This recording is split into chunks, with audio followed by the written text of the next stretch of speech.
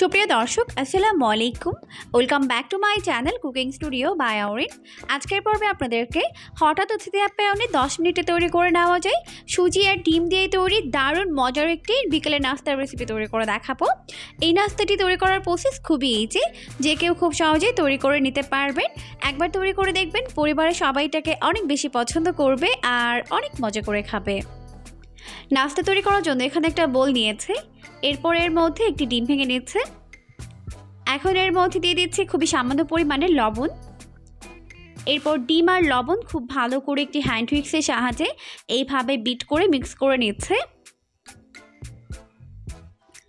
ডিমটাকে ভালো করে বিট করে নেওয়ার পর এরপর আমি এর মধ্যে দিয়ে দিচ্ছি ওয়ান ফোর্থ কাপ পরিমাণ চিনি, অর্থাৎ চার টেবিল চামচ পরিমাণ এখন চিনিটিকেও খুব ভালো করে একটি হ্যান্ড হুইক্সের সাহায্যে এইভাবে বিট করে মিশিয়ে নিচ্ছে। এটাকে ততক্ষণ পর্যন্ত এভাবে মেশাবো যতক্ষণ না পর্যন্ত চিনিগুলো খুব ভালোভাবে গলে মিশে যায়। তো বিট করতে করতে যখন চিনিগুলো খুব ভালোভাবে গলে মিশে যাবে, এই পর্যায়ে সুন্দর একটা ফ্লেভারের জন্য দিয়ে দিচ্ছে। খুবই সামান্য পরিমাণে ভ্যানিলা এসেন্স। এখন এটাকেও খুব ভালো করে মিশিয়ে নিচ্ছে। এখন আমি এর মধ্যে শুকনো উপকরণগুলো অ্যাড করে দিব। প্রথমেই দিয়ে দিচ্ছি হাফ কাপ পরিমাণ সুজি। আর দিয়ে দিচ্ছি ওয়ান ফোর্থ কাপ অর্থাৎ চার টেবিল চামচ পরিমাণ ময়দা। এরপর প্রথমে এই দুইটা উপকরণ একত্রে মিশিয়ে নিচ্ছে। তো ভালো করে মিশিয়ে নিয়েছি। তো আমার কাছে মনে হচ্ছে এটাকে হাত দিয়ে মেশালেই ভালো হবে। তো আমি এটাকে হাত দিয়ে মিশিয়ে নিচ্ছে। আর আমার কাছে মনে হচ্ছে এখনও আরও কিছুটা সুজি লাগবে, তাই আমি এখানে আরও প্রায় হাফ কাপ পরিমাণ সুজি অ্যাড করে দিচ্ছি। তো টোটালি আমি এখানে এক কাপ পরিমাণ সুজি ব্যবহার করব।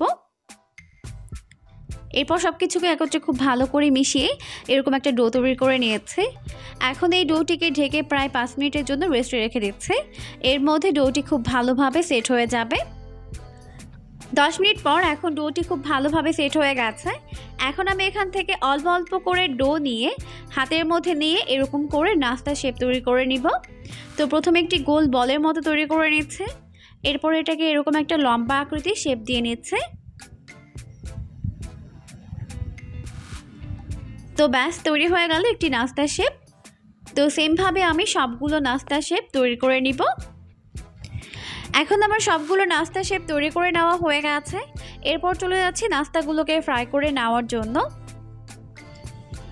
নাস্তাগুলোকে ফ্রাই করার জন্য চুলা একটি প্যান বসিয়ে দিয়েছে। যথেষ্ট পরিমাণে সয়াবিন তেল দিয়ে তেলটিকে খুব ভালোভাবে গরম করে নিয়েছে। এরপর চুলার রাসটিকে মিডিয়াম ফ্লেমে রেখে এর মধ্যে একটি একটি করে নাস্তা শেপগুলোকে দিয়ে দিচ্ছে। এখন আমি এগুলোকে মিডিয়াম আছে প্রায় এক মিনিটের মতো এক পাশ ফ্রাই করে নিব। আর অবশ্যই মিডিয়াম আছে ভাজতে হবে, তাহলে কিন্তু ভেতরে এবং বাইরে খুব ভালোভাবে কুকড হতে পারবে। তো এক মিনিট পর এখন আমি এগুলোকে উল্টে পাল্টে দুই পাশ গোল্ডেন ব্রাউন করে ফ্রাই করে নিব।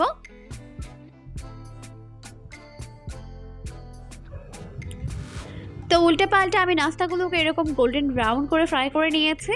এখন এইগুলোকে ভালোভাবে তেল ঝরিয়ে তেল থেকে উঠিয়ে নিচ্ছে। তো এখন আমার সবগুলো নাস্তা ফ্রাই করে উঠিয়ে নেওয়া হয়ে গেছে, দেখতেই পাচ্ছেন। লুকটা কত বেশি আমি হয়েছে। খেতেও কিন্তু হয়েছে দুর্দান্ত মজার।